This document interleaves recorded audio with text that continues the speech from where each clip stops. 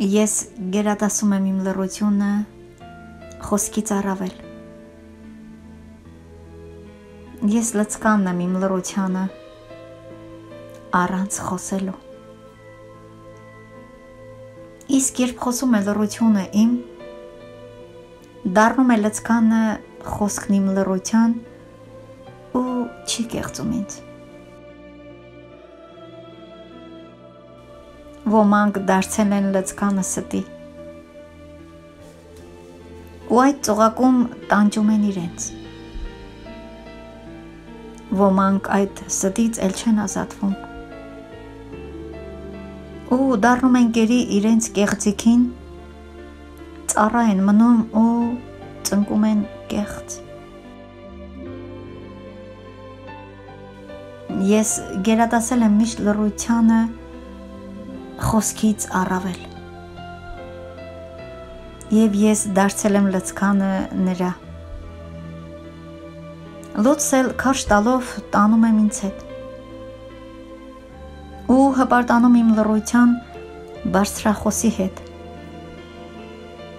առանց կեղծվելու ու առանց կեղծելու Եվ ես չեմ ուզում, որ ինչ որ մեկը ինչ որ մի ստի լծկանը դառնա։ Եվ ես զղջում եմ, որ ինձ երբևէ նրանք չեն խնդրել լռություն գտամ մի քիչ էլ նրանց գտամ լռություն, որ գերադասեն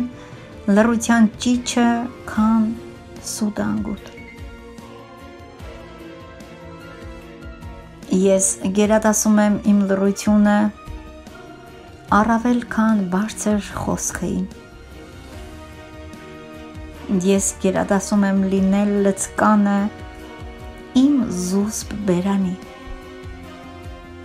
Գերադասում եմ լուր ու առանց խոսք թողնել հեռանալ։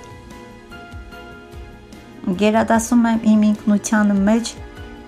համր միշտ մնալ ու չհեռանալ երբեք այն ճշտից, որ լուր է մնում։